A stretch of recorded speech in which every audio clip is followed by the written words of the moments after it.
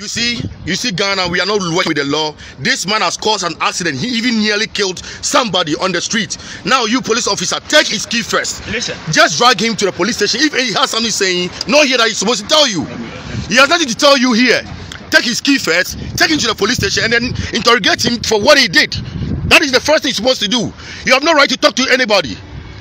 You have no right to talk to anybody. He has no right to even to make a call now. If he's calling for real enforcement, do you know? And a police officer, you are standing here looking at him to do his calls. I'm- no, um, let him stop making a call. He's not making you. No, I'm giving you a law. I'm also a Ghanaian. I'm a citizen. What do you mean? I have the right to tell you what to do. Please. Let him stop making a call. Take the phone. Let him stop making a call. Oh, I took the call. phone. Let him stop you- making a call. This is why property. Why? What do you mean? You see? You see? Yeah, you see? You see this man? Yes. Try to trying to attack the policeman. Yes. Why do you want to take? Trying to take a policeman. The here? Body away near fucking man like you. Thing you did over there, then you are running fucking man like you.